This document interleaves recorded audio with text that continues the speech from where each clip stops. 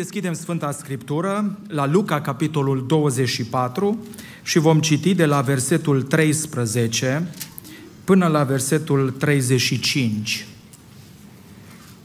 Luca, capitolul 24, de la versetul 13 până la versetul 35. Un text foarte bine cunoscut. Îl voi citi și cei care aveți scripturile puteți ca să mă urmăriți. În aceeași zi, iată, doi ucenici se duceau la un sat numit Emaus, care era la o depărtură de 60 de stadii de Ierusalim și vorbeau între ei despre tot ce se întâmplase. Pe când vorbeau ei și se întrebau, Isus s-a apropiat și mergea pe drum împreună cu ei. Dar ochii lor erau împiedicați să-L cunoască. El i-a zis, ce vorbe sunt acestea pe care le schimbați între voi pe drum? Și ei s-au oprit, uitându-se triști. Drept răspuns, unul din ei, numit Cleopa, i-a zis, Tu ești singurul străin aici în Ierusalim de nu știi ce s-a întâmplat în zilele acestea? Ce? Le-a zis el.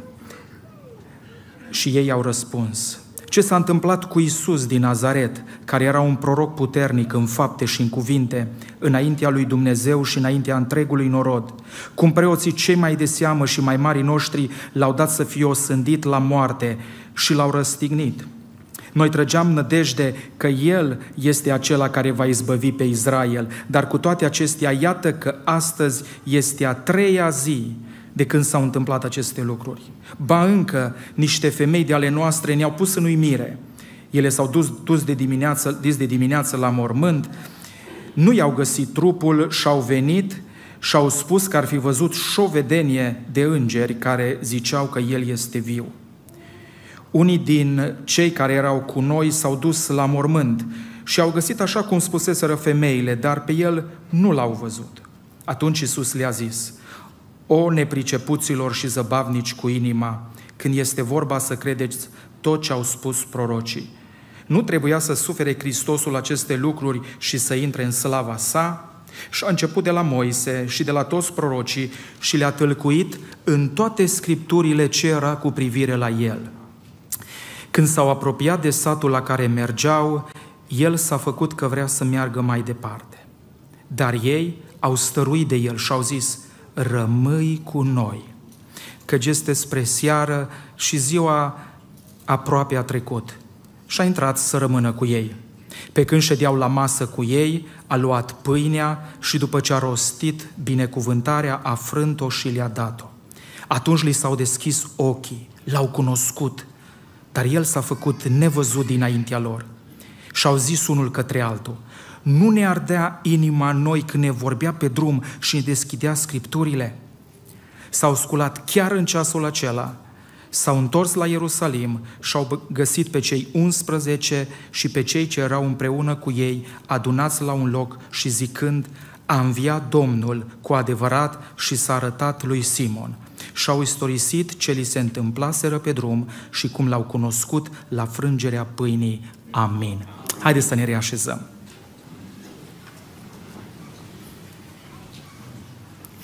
De fiecare dată când uh, vin la poarta cerului, știu că vin într-un loc unde este laudă, mulțumire și de, cum, de când îl știu pe fratele Nelu, proclamare.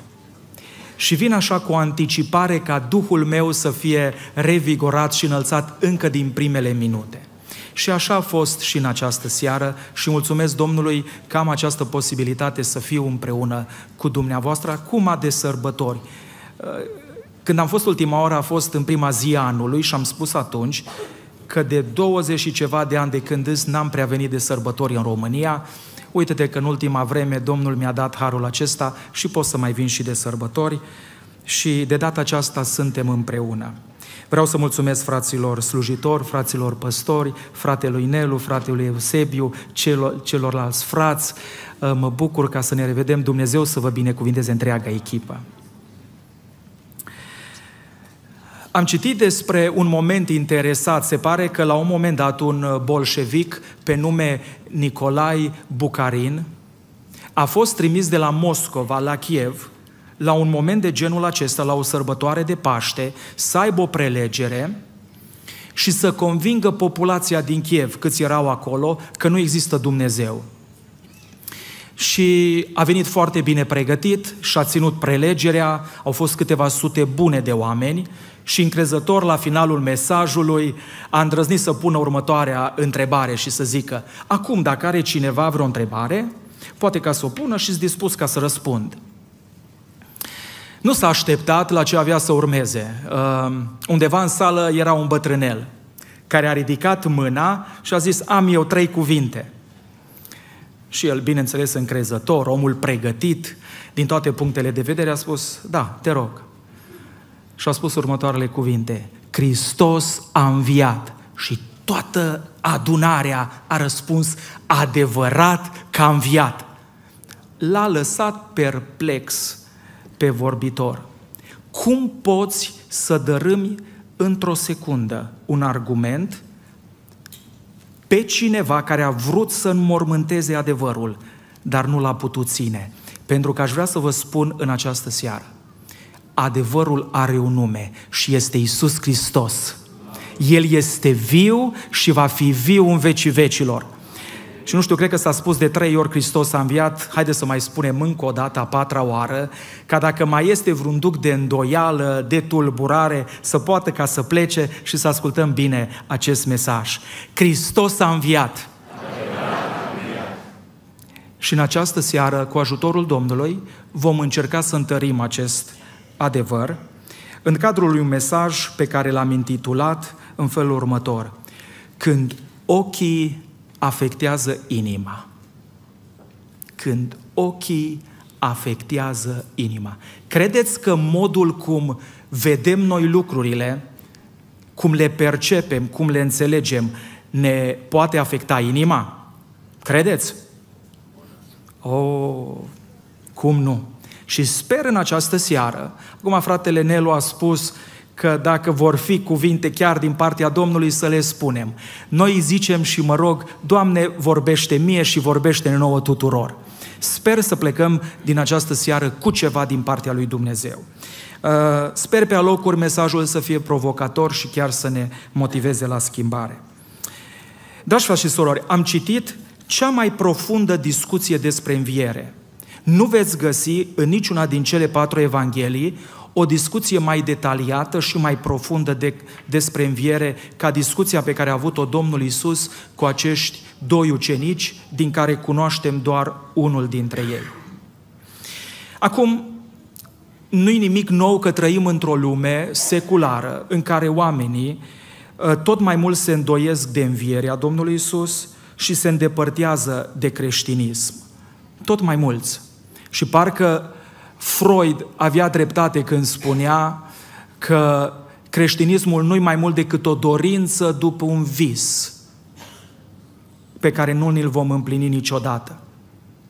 Sau un alt gânditor secular, încercând ca să ne, ca să ne înșele, Nice spunea la un moment dat, creștinismul e doar pentru oameni simpli și neștiutori.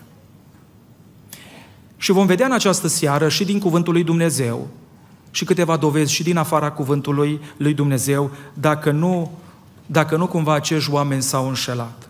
Dar știți care e durerea mea? E durerea că în cealaltă tabără, în tabăra creștinilor, din păcate și aici există niște conotații negative, niște pierderi. Dacă oamenii din lume pentru ei clar, nu există Dumnezeu, nu există înviere, vin dintr-o țară tot mai secularizată, până în urmă cu câțiva ani era o țară creștină, ultima țară din Europa care a aprobat avortul, dacă nu greșesc. Acum este extrem de secular.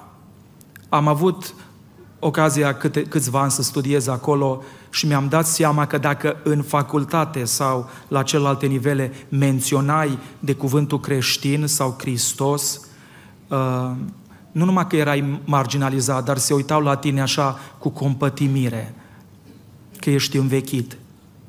Dar durerea mea îi în cealaltă parte, în tabăra noastră, unde parcă avem creștini, ca și cei doi de aici, care fac stânga împrejur și zic, gata cu Ierusalimul, gata cu credința. Le las toate baltă și mă duc pe drumul meu. Și merg pe drumul acesta al renunțării și își reconfigurează viața. Pentru că s-a întâmplat ceva, pentru că am trecut prin ceva, pentru că ceva n-a făcut sens, pentru că așteptările și speranțele mele uh, au fost ucise, le las toate baltă și mă duc pe un alt traseu. Dar aș vrea să vă spun în această seară că și cei din tabăra care nu-L cunosc pe Hristos și cei din tabăra care îl cunosc pe Hristos sunt nevoiți să răspundă la o întrebare simplă. Și această întrebare este următoarea. A înviat sau nu Hristos? Știți, uh, de obicei cei din uh, tabăra cealaltă, cei care sunt necreștini, vin și pun toată responsabilitatea pe noi și spun așa, dovediți voi că există Hristos, că a înviat Hristos. Dar eu în această seară spun așa, nu, nu, nu, nu. E și responsabilitatea lor ca să afle răspunsul la această întrebare. De ce? Pentru că învierea lui Hristos nu e doar o problemă istorică sau filozofică. Este o problemă vitală de viață și de moarte. Ascultați-mă bine, dacă a înviat Hristos, totul se schimbă.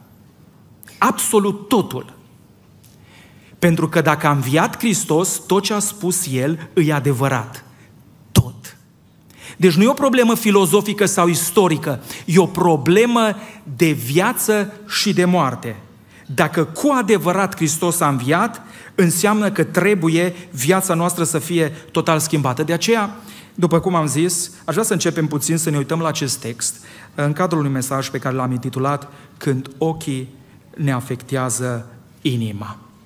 Acum, de ce e important să avem grijă de, nevo- de inima noastră? Ați văzut deja în text, avem câteva momente în care ni se spune cât e de important cât e de importantă inima și de ce ea ne poate face viața complicată câteodată.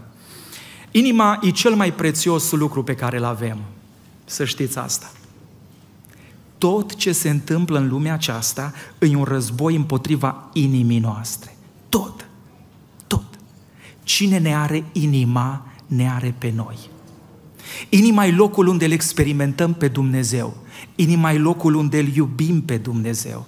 Inima e locul de unde îl cunoaștem pe Dumnezeu. Și dacă inima îi întunecată, totul degeaba. Dacă inima îi înșelată, totul degeaba. Dacă inima e împietrită sau rece, totul este degeaba. Dar după cum spune aici textul, undeva în inima noastră fiecare avem un foc care vrea, un foc care ne spune că vrem să-L cunoaștem pe Hristos. Undeva în noi există această dorință să-L cunoaștem. Și acum focul ăsta ori îl înflăcărăm, ori îl stingem. De aceea cel mai prețios lucru care îl avem este inima și ochii ne pot afecta inima. De aceea ce face diferența este la ce privim și cum interpretăm ce vedem. Pentru că cei doi au avut o problemă. Și o să vedeți problema, o să vedeți ce a făcut Hristos și o să vedeți ce se poate întâmpla când inima noastră este transformată. Textul ne spune despre cei doi ucenici că aleg de data aceasta să meargă pe un drum al lor în viață, deși, atenție, au auzit mesajul învierii ca probabil toți de aici. Nu vorbim despre doi atei, nici necreștini. Aceștia care au luat stânga împrejur și au zis, gata, las Ierusalimul și mă duc spre Maus. Aceștia au știut, au auzit ceva, da? ne spune textul, că au auzit că e posibil ca Hristos să, să fie înviat. Și au fost uimiți, pentru că uh, femeia le-a spus, uh, predicam azi dimineața la Biserica uh, Ghiroda. Și puneam întrebarea, am vorbit puțin despre Maria Magdalena, foarte interesant, uh, oare de ce Domnul a ales să îi se descopere unei femei prima dată? Asta e o întrebare interesantă. Uh, asta e una. Doi, de ce a însărcinat-o să ducă mesajul cel mai important, ea prima? Dar cineva pune aceste două întrebări într-o biserică și a venit o doamnă, o soră la final. Și a zis, eu cred că știu de ce Domnul i-a dat uh, misiunea aceasta a femeii. ca să fie sigur că o să ducă vestia. Păi normal că ucenicii și bărbații de obicei stau și calculează și zic o fi, nu o fi, oare chiar au fost îngerii, oare nu cumva am avut halucinații. O să ajungem și la partea asta cu halucinațiile. Uh, și bărbații calculează și ați văzut că și ucenicii, Petru și Ioan, fug la mormânt. Fuge Ioan, vine Petru mai repede, ă, așa mai departe. Intră, se uită, văd, nu pricep și pleacă. Dar femeia stă și plânge și atâta plânge. Până Hristos îi se revelează. Deci, cei doi au auzit. Dar foarte interesant că totuși nu au renunțat și au zis mergem pe drumul nostru. Au auzit că mormântul e gol, așa cum am auzit și mulți dintre noi. Au auzit despre mesajul îngerilor, așa cum am auzit mulți dintre noi. L-au auzit pe Petru și pe Ioan, care au spus, da măi, mormântul e gol. Și cu toate aceștia, ochii lor le-au afectat atât de mult inima, încât au zis, nu, noi plecăm. Ochii lor au fost împiedicați, spune Scriptura, blocați. E foarte interesant termenul acesta părerile sunt părțite. Dar găsim cel puțin două lucruri care le-au împiedicat ochii, care au împiedicat ochii ucenicilor. Și eu le-am accentuat când le-am citit. Primul este tristețea. S-au uitat triști. Ați văzut oameni triști? Mm. Ați vorbit vreodată cu un om trist? Mm. Câteodată nici nu te vede bine. Nu te aude. Nici nu se uită la tine. Și eu de multe ori când eram trist, veneam, nu știu dacă mai spus la dumneavoastră, dar vă spun acum, de când am deschis biserica în Dublin, primii ani au fost ani de foc, de foc. Și socrul pe care Dumnezeu mi l-a dat pentru o perioadă bună să fie alături de noi, um, mă aștepta a nu mânca mâncarea până ce veneam acasă. O pregătea Ani, soția mi-o uh, punea acolo, soțul nu mânca, uh, socrul nu mânca și când ajungeam mânca împreună cu mine, țin minte. Și eu veneam necăjit de la muncă, știam că trebuie să mă duc la biserică, erau săptămâni în care muncă, biserică, muncă, biserică, muncă, biserică. Și cu gândul eram la biserică. Și câteodată trist. Și se termina uh, mâncarea, discuția, vorbea numai dânsul și la final îmi zicea așa, Călin, așa că tu nici n-ai simțit gustul mâncării, nici nu mai ai auzit ce ți-am zis. Și am zis, dar de unde știe? Nu știu dacă vi s-o dat să stați de vorbă cu oameni triști. Scriptura e așa ă, finuț aici, dar trist, sunt grade de tristețe. Și un alt lucru pe care îl vedem aici e că și-au pierdut speranța, nădejdea, am tras nădejde. Știți că când un om își pierde nădejde, aproape că a pierdut totul, aproape. Aproape. Să nu vorbiți cu oameni care își pierd speranța. Deci îmi imaginez că ochii lor erau atât de, de, de întunecați. Și Scriptura spune că ei au început să vorbească pe drum. Mă gândesc că inima lor era plină de descurajare. Dacă în ochi era tristețe și așa, inima le era descurajată, deznădăjduită. Le-am pus toate cu D. Deznădăjduire, dezamăgire, disperare, mă gândesc și erau pe drum și plecau cei doi. Și haideți acum să intrăm un pic în text. Și primul gând pe care vreau să vi-l spun este acesta. Aș vrea să vă vorbesc despre ochi întunecați și inimi deznădăjduite. Ochi întunecați și inimi deznădăjduite. Ochii lor erau blocați în ziua de vineri și sâmbătă. Chiar dacă acum era duminică.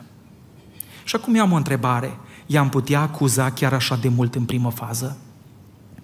Poate că nu în primă fază, că nici Domnul nu i-a acuzat în primă fază. Uh,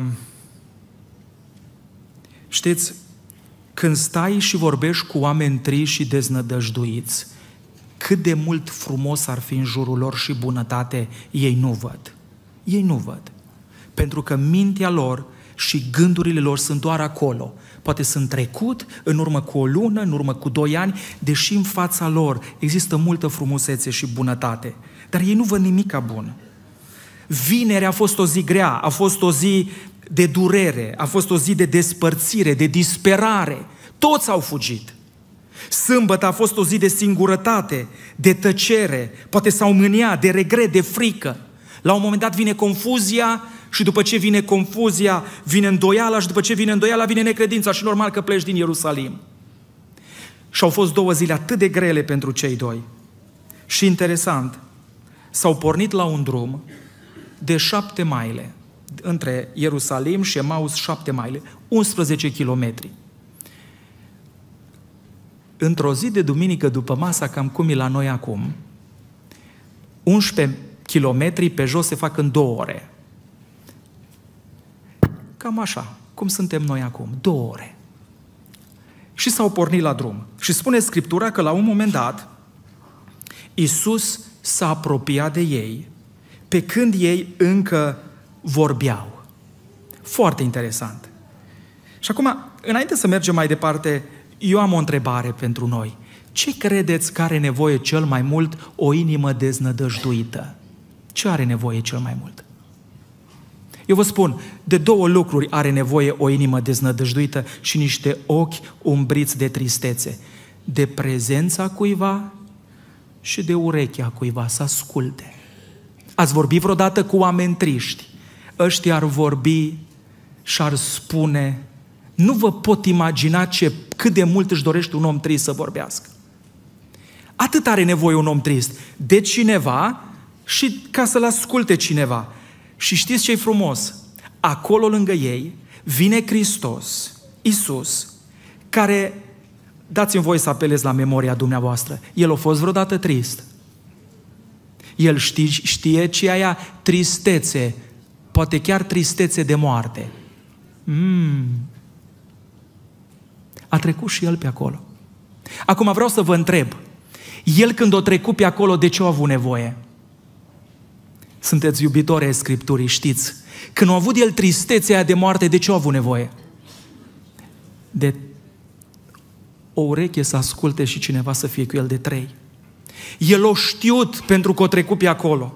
Și a venit pe drum împreună cu ei, deși ăștia doi vorbeau săracii, ă, își spuneau supărările, își spuneau toate problemele, nu era nu era unul mai breaz așa între ei, săraci, dar a venit unul lângă ei care o trecut pe acolo. El care știa ce e tristețea, chiar o tristețe de moarte. El care a avut nevoie de cineva ca să-l asculte și mai apoi chiar de Dumnezeu. Mi-aduc aminte de multe ocazii în care mi s-a dat ca să îi ascult pe oamenii care striști și deznădăjduiți. Și știți ce greu e să stai și să asculți pe cineva care a trecut prin ce n-ai trecut tu. Că nu poți ca să-l înțelegi. Cineva care poate și-a pierdut pe, pe cineva drag, care și-a pierdut sănătatea. E greu ca să asculți dacă n-ai trecut pe acolo. Dar am ajuns la următoarea concluzie și anume, de multe ori ca ochii să se deschidă la ziua de duminică, trebuie să poată să vorbească despre ziua de vineri și despre ziua de sâmbătă ca ochii omului să se deschidă la ziua de duminică și să vadă, mă, astăzi e duminică. O trecut, există și lucruri bune, există speranță, există un alt fel de a vedea. Trebuie să se deschidă și să vorbească despre durerea de vineri și despre durerea de sâmbătă. Mi-aduc aminte o persoană la un moment dat i-a spus al cuiva și o știu din surse sigure. A spus așa, ce m-a ținut să nu-mi, put, să nu-mi pun capăt vieții a fost că nu ai renunțat la mine și ai știut să mă asculți. Asta a ajutat. Warren Wiersbe, un uh, cercetător și un teolog creștin, spunea la un moment dat, cu referire la aceste versete, că Iisus atât de blând le-a pus întrebarea ca să-i asculte, deși știa tot, ce s-a întâmplat și ce avea ca să le spună. Și știți ce e interesant? Domnul Iisus le, îi întreabă ce vorbe sunt acestea pe care le schimbați voi pe drum. Și unul din ei, spune Scriptura, conceput să-l acuze. Păi ce, tu ești singurul străin? Acum imaginați-vă, Domnul vine lângă ei, știe prin ce trece și ăsta îi zice, păi ce, tu nu știi? Și Domnul tace, nu spune nimic. Vorbesc despre dezamăgirea lor, despre așteptările lor și la un moment dat spun niște cuvinte, le-am accentuat în citirea textului, care nu știu, probabil fiecare am trecut pe aici. Ei auziți ce spune la un moment dat. Iată că astăzi este a treia zi de când și eu pun puncte, puncte, puncte. De câte ori n-am spus și noi de a treia zi, Doamne, de când și nu s-a întâmplat nimic. Îi a șasea lună, Doamne, și n-am văzut niciun răspuns de atunci. Doamne, am așteptat destul, nu mai am nicio speranță, îmi văd de drumul meu. Nu se poate, Doamne. De atâta timp vreau să scap de păcatul ăsta și n-am reușit ca să scap. De atâta timp aștept, Doamne, rugăciune. De atâtea zile, Doamne. Domnul Iisus ascultă. Dar vreau înainte ca să vedem al doilea pas. Aș vrea să pun aici o întrebare. Ce ai făcut tu în momentele de dezamăgire și de durere? Ce ai făcut? Ai făcut ca și ucenicii cei doi, în care zici, gata, îmi las sculele jos, fac stânga împrejur și fac ce vreau, spun ce vreau. Pentru că aici îi, aici îi, de fapt, asta e diferența. Ce fac în momentele de dezamăgire și de durere? Cei doi nu sunt un exemplu bun deloc. Au zis, gata, mergem pe drumul nostru. Mă mut din biserică, mă duc înapoi la viața trecută, uh, renunț la familie, și așa mai departe. Când e greu, când îți dezamăgit, ce fac? Ce am făcut? Dar ce frumos spune Scriptura că Domnul știa că o să-i părăsească și le-a și dat o promisiune. O zis, voi chiar dacă mă veți părăsi, după aceea o să mă vedeți. Și dacă este cineva în această seară aici, care l-a părăsit pe Domnul, indiferent ce înseamnă părăsirea asta, din cauza unei probleme, unei așteptări neîmplinite sau așa mai departe, și a mers pe drumul lui, indiferent cum se numește drumul ăsta, Domnul îți spune astăzi, eu vreau să mă întâlnesc din nou cu tine. Știu prin ce ai trecut, știu pe ce drum ești și vreau să mă vezi din nou în viața ta. Pentru că Domnul știa, le-a și spus și a și întâlnit. Pentru că, ascultați-mă, înainte să trecem la al doilea punct, Iisus nu interesa numai de destinația noastră. Că așa de multe ori avem impresia, tot ce îl interesează pe Domnul îi să ajungem cer. Tot ce îl interesează pe Domnul îi să reușim, cum zice pe engleză, just to try to make it, ca să ajungem acolo în cer. Nu, nu, nu. Pe Domnul nu interesează doar destinația, îl interesează și dezamăgirea. Îl interesează. Pe Domnul nu interesează doar destinația, îl interesează și disperarea mea. Pe Domnul nu îl interesează doar destinația, îl interesează și durerea mea. Da, îl interesează. Și când am înțeles lucrul ăsta, am zis, Doamne, de acum vreau să vorbesc cu tine și despre lucrurile astea. Că pe tine te interesează și astea.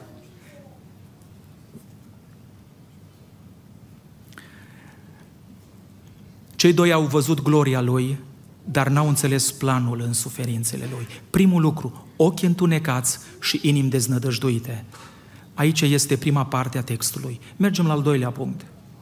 Ochi vindecați și inimi restaurate. Ochi vindecați și inimi restaurate. Ascultă ce ascultă Domnul și este o vreme în care asculți, asculți, asculți, dar trebuie să vii și să și faci ceva, nu? Și Domnul trece de la ascultare la dialog. Și după ce îi ascultă și mai ales când Domnul aude că ăștia o auzi despre înviere, ăștia știu și cu toate acestea nu cred, la un moment dat, în două versete, eu am sumarizat în felul următor ce vrea să le spună Domnul.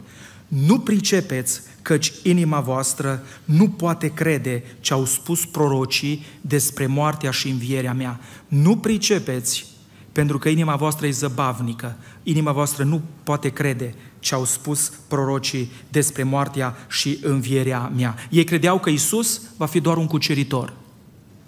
Când, după cum se spune astăzi, El a cucerit mai mult decât un imperiu. A cucerit moartea. L-a învins pe diavolul care are cel mai mare imperiu. Și acum spune Scriptura, noi suntem mai presus de orice domnie și stăpânire și nu mai trebuie să ne fie frică de el. Și toată biserica spune amin. amin. Să nu ne fie frică de diavolul. Dar vreau aici să fac o afirmație. Poți fi creștin și să nu înțelegi pe deplin cum s-a întâmplat învierea. Dar nu poți fi creștin și să negi învierea. Repet, poți fi creștin și să nu poți explica cum o a avut loc învierea. Da? Poate n-ai toate explicațiile, dar nu poți fi creștin și să negi învierea. Frați și surori, aici fac o paranteză un pic mai mare. Învierea nu este o preferință subiectivă, este o dovadă obiectivă. Ascultați-mă, o spun altfel.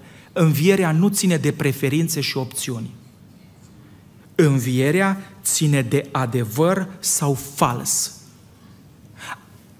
Trebuie să o știe clar și creștinii și necreștinii. Nu-i vorba de opțiuni și preferințe aici. E vorba să stabilim ceva. Învierea a fost sau n-a fost adevărată. Pentru că totul depinde nu dacă ne place nouă, ci dacă a înviat sau nu Hristos. Simplu. Și acum dați-vă voi să vă spun câteva dovezi. Vreau să vă spun că în contextul în care s-a întâmplat învierea, nu diferă de contextul nostru. Să nu credem că ei au fost mai creduli. Să nu credem că ei au fost mai ușor de convins. Poate noi astăzi suntem mai ușor de convins decât ei. Știți de ce? În contextul greco-roman, atunci, greco-romanii gândeau că trupul e rău. Și, de fapt, eliberarea înseamnă o mântuire de trup, să nu mai ai de-a face cu trupul. Pentru ei, învierea nu făcea sens. Nu făcea sens, nu puteau ca să o accepte. La evrei, pe cealaltă parte, învierea trebuia să se producă la finalul vremurilor, când toți înviau și totul era restaurat. Pentru evrei să învie o persoană și ceilalți să nu învie, era imposibil de crezut. Absolut imposibil pentru evrei. Pentru evrei să gândească că un om poate fi Dumnezeu, imposibil. Nici măcar nu scriau cuvântul Dumnezeu uh, în totalitatea lui. Deci era imposibil pentru ei să accepte învierea. Imposibil. Alții au venit cu teoria halucinației și au spus, măi, toată asta a fost de fapt uh, o halucinație. Uh, n-a înviat Hristos, Maria, ucenicii, li s-a părut lor că l-au văzut. Din punct de vedere al neuroștiinței, ascultați-mă, halucinația se poate întâmpla doar la nivel de individ nu la nivel de grup. E dovedit științific. Adică eu pot să am o halucinație, dar noi toți să avem acum aceeași halucinație, imposibil. Deci pică și teoria asta.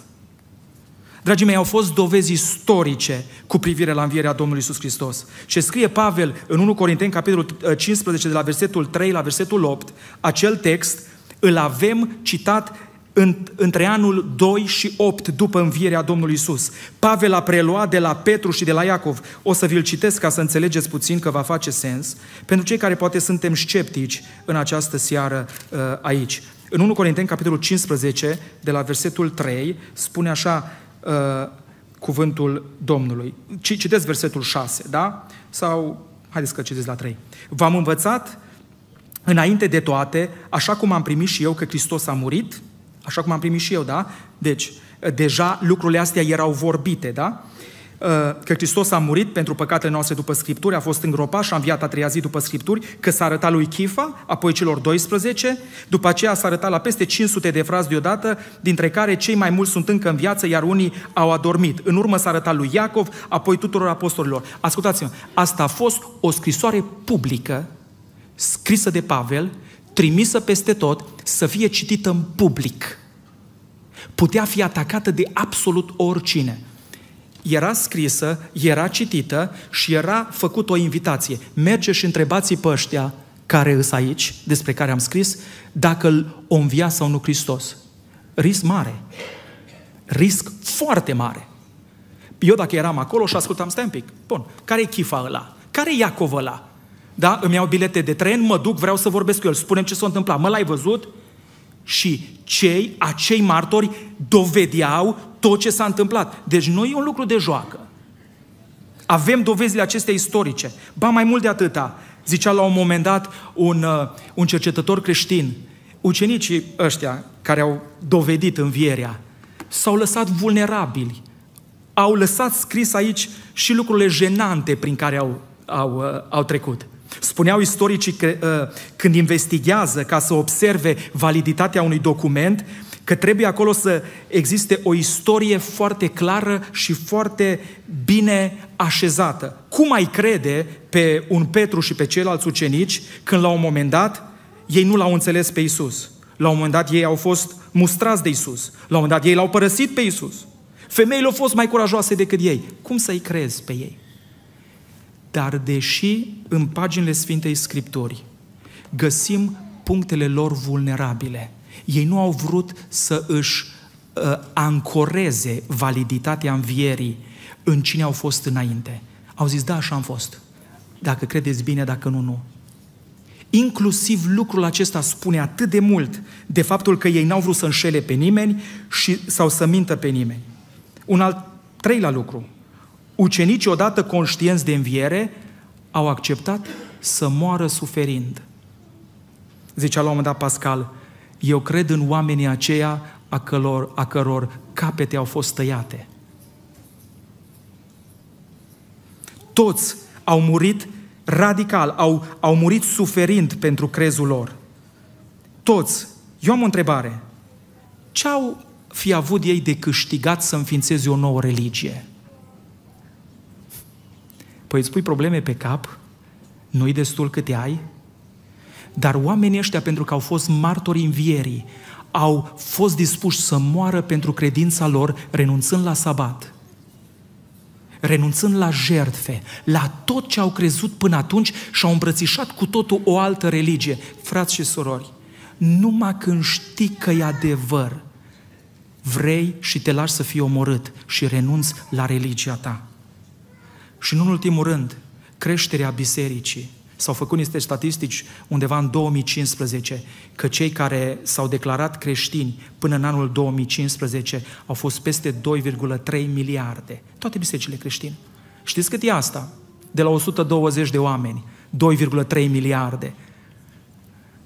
Mai mare ca și China, mai mulți ca și în China, mai mulți ca și în Europa, mai mulți ca și China plus Europa mai mulți decât în America.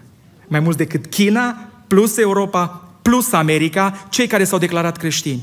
Frații mei, o astfel de mișcare, un astfel de grup de oameni, dovezile pe care le avem și le-am încercat foarte scurt să le spun, ne spun clar că Isus Hristos a înviat și este viu în vecii vecilor. Nu poți fi creștin. Ești creștin dacă nu poți explica clar tot ce s-a întâmplat la viere, dar nu poți fi creștin dacă o negi. Și acum haideți să ne reîntoarcem la textul nostru. Revenim la cei doi. Începe povestea să se schimbe cu cei doi. Inima lor începe să se schimbe.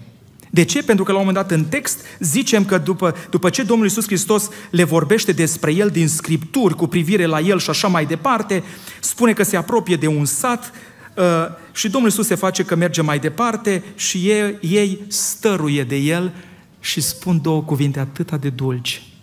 Știți care sunt acestea? Rămâi cu noi. Acum eu am o provocare. Ei nu înțeles ce le-a spus Hristos din Vechiul Testament. Încă nu, ochii lor încă nu. In inima lor ceva a început să se schimbe acolo pentru că uh, deși nu au priceput și n-au înțeles, l-au vrut.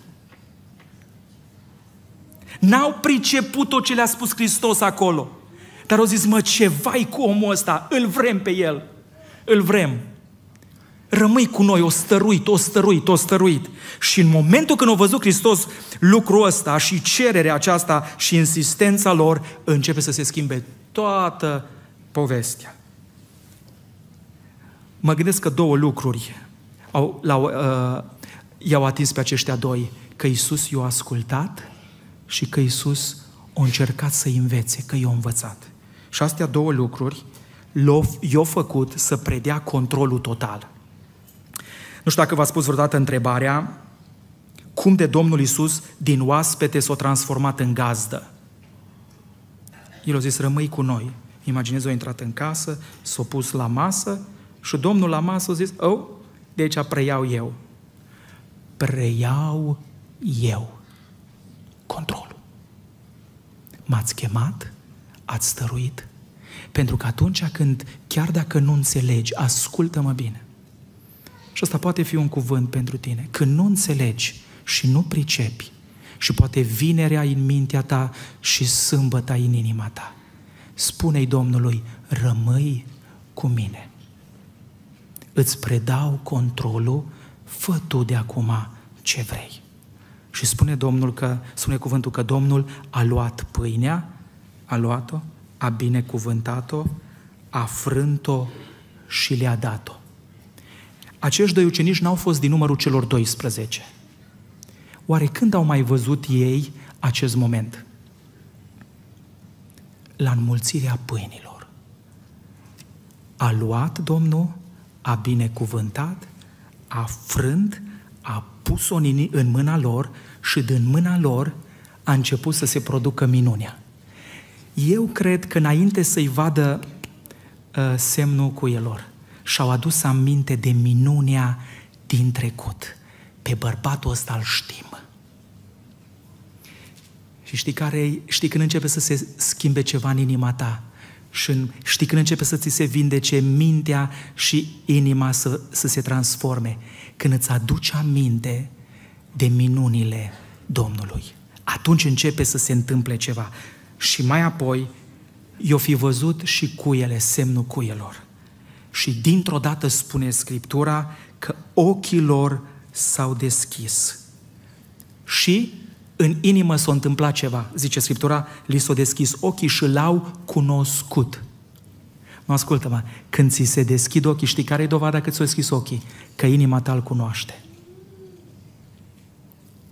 Când inima ta îl cunoaște, ți s-au deschis ochii. Și spune Scriptura că el dintr-o dată s-a făcut nevăzut. Și nu știu, poate ești într-un moment în această seară aici în care ai venit trist, în care poate ai venit cu inima descurajată, multe așteptări nu s-au împlinit, dezamăgire multă, mai știu eu ce prin ce ai trecut, adu-ți aminte. Spune-i Domnului, rămâi cu mine. Îți predau controlul situației. Adu-ți aminte de minunile din trecut. Uită-te la rănile lui și dacă Până acum ai crezut că nu ești iubit. Dovada cea mai mare că ești iubit este semnul cuielor. Nu-ți trebuie alta. E o iubire veșnică. Și aduți aminte că e viu chiar dacă nu-l vezi. Ați reținut pașii ăștia? Rămâi cu mine. Îți predau controlul. Aduți aminte de minunile din trecut. Aduți aminte că ești iubit și zici, Doamne, Tu ești viu chiar dacă nu te văd, pentru că așa s-a întâmplat și cu cei doi. În momentul când au realizat, Domnul a dispărut. Și asta mă duce la ultimul punct. Ochi întunecați, inimi deznădăjduite. Ochi vindecați, inimi transformate. Și acum ochi deschiși și vieți transformate. Dragii mei, s-a întâmplat ceva. A fost o zi grea pentru ei.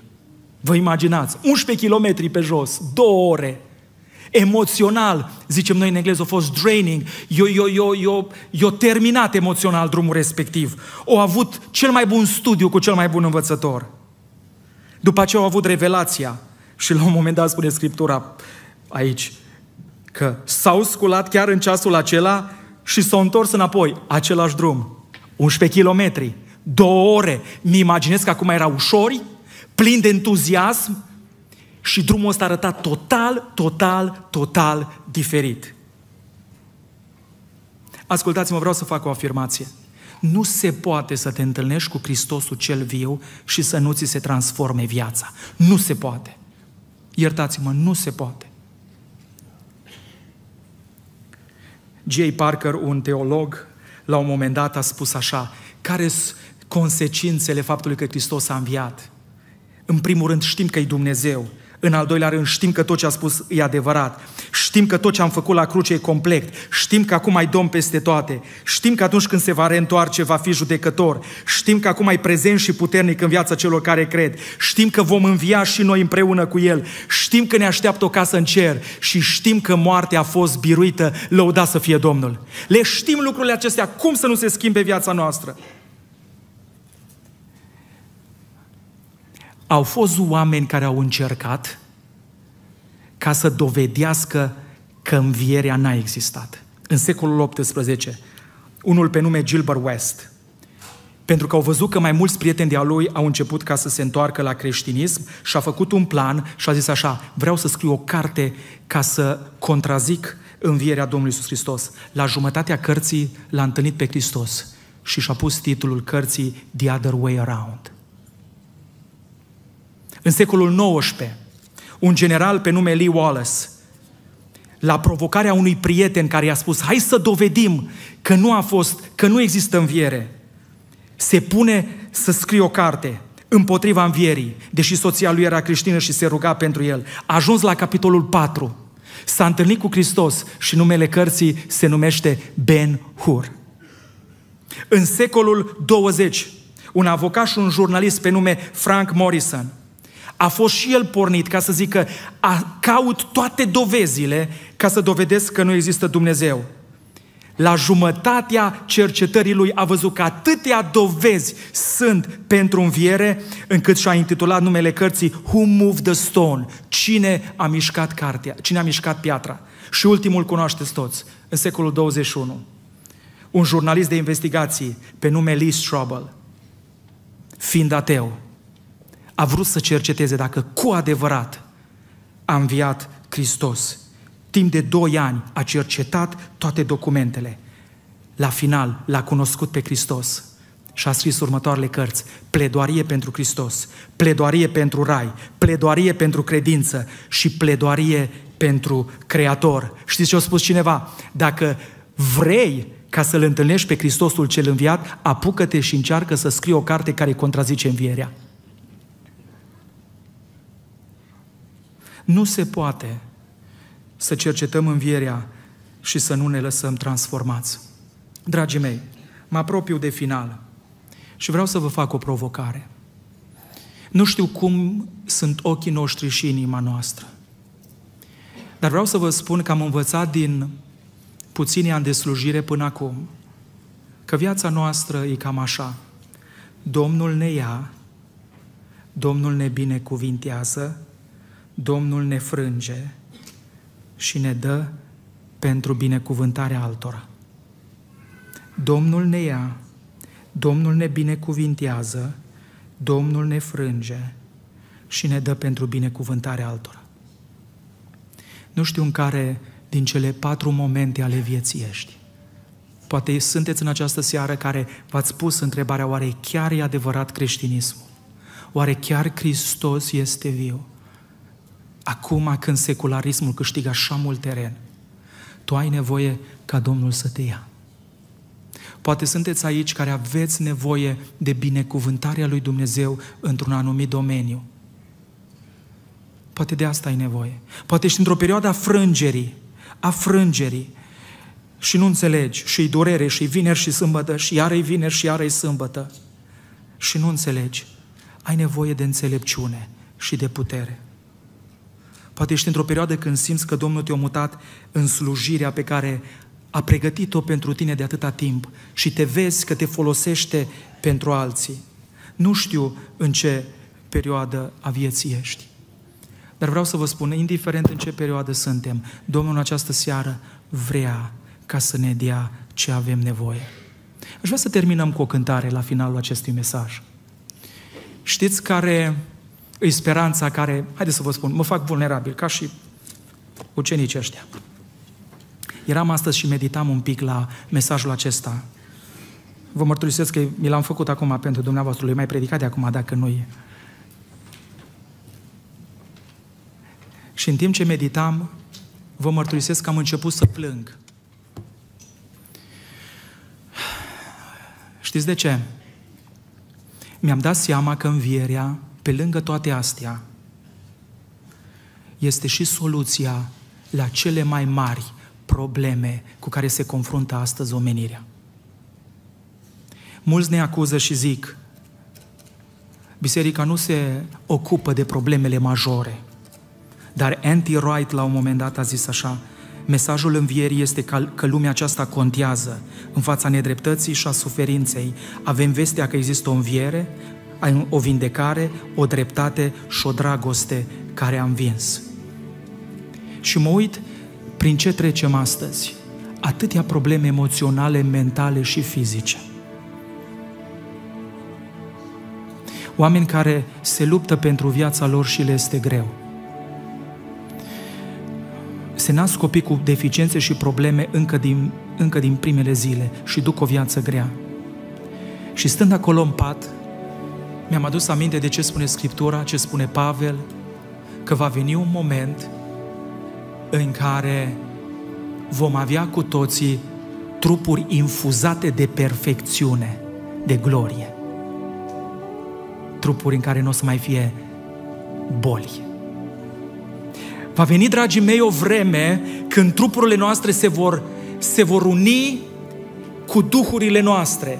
Când duhurile care au plecat la cer vor chema ADN-ul care a mers în pământ și ne vom uni și vom avea trupuri noi. Și acolo nu va mai fi boală, nici mentală, nici emoțională. Acolo nu vor mai fi probleme de Alzheimer, nu vor mai fi probleme de tulburări de personalitate, nu, nu vor mai fi depresii profunde de ani de zile la care nu se găsește diagnostic. Nu va mai fi nimic de genul acesta. Nu, vor, nu va mai fi suferința pe care o poartă unii de ani de zile. Nu va mai fi schizofrenie. Nu va mai fi absolut nimic. Nu va mai fi anxietatea asta care pe mulți atacă. Nu va mai fi. Atunci, dragii mei, trauma va fi transformată în tărie. Anxietatea va fi transformată în adorare. Depresia va fi transformată în, în desfătare. Lacrimile vor fi transformate în laude. Vom avea toți un trup nou. Vom avea toți un creier nou. Nu va mai fi durere atunci. Nu va mai fi suferință atunci. Va veni ziua aceea. De aceea se merită să trăim cât putem și cu tot ceea ce avem, chiar dacă pentru unii atât de greu, ziua aceea glorioasă nu găsește rezolvare decât în învierea care a avut-o Hristos odată și ne-o promite nouă, slăvit să fie El. Haideți să ne ridicăm în picioare. Va veni o zi în care cei care vor fi în viață vor pune îndrăzneți întrebarea aceasta. Unde este biruința moarte? Unde este? Cei care vor fi în morminte vor zice, unde este boldur moarte? Așa de mult mă bucur că va veni o astfel de zi. Numai părinții care au copii cu autism știu ce greu e să crești un copil de genul ăsta, o viață. M-am întâlnit la un moment dat cu o familie venită din altă țară și au zis, frate Căli, nu ne poți ajuta. Și copilașul era pe acolo, nu-l puteai ține. Și eu zis, ne-a schimbat toată viața. Eu nu mai pot lucra, soțul când vine acasă mă găsește obosită, stresată, nu mai are cu cine vorbi. Viața noastră s-a schimbat, frate Călin, am zis, știu, știu. Numai soții care trăiesc cu soții care suferă mult mental, știu cât e de greu lucrul acesta. Da, în jertfa lui Hristos avem vindecare și Domnul poate să se îndure să vindece. Dar ascultați-mă, va veni o zi în care toate trupurile noastre vor fi transformate în trupuri glorioase. O, asta e una din speranțele învierii. Și asta m-a făcut să plâng stând acolo în pat. Și am zis, o, Doamne, ne-ai dat această promisiune de care ne ținem. Aș vrea să cântăm această cântare să-i mulțumim Domnului. Și dacă ești în perioada în care simți că în această seară Domnul ți-a vorbit și te cheamă și vrei să-ți predai viața în mâna Lui, astăzi este ziua. Că Domnul vrea să te ia în mână. Dacă ai nevoie de o binecuvântare din partea lui Dumnezeu, poate într-o situație ai nevoie de intervenție, astăzi Domnul se poate îndura de tine. Dacă ești într-o perioadă de frângere, și ai nevoie de putere, de tărie din partea lui Dumnezeu, de răbdare, astăzi Domnul poate ca să ți-o dea. Dacă ești într-o perioadă în care te-ai dedicat și ai nevoie de putere de slujire, Domnul îți poate da. Și dacă ai nevoie, suntem aici să ne rugăm pentru tine.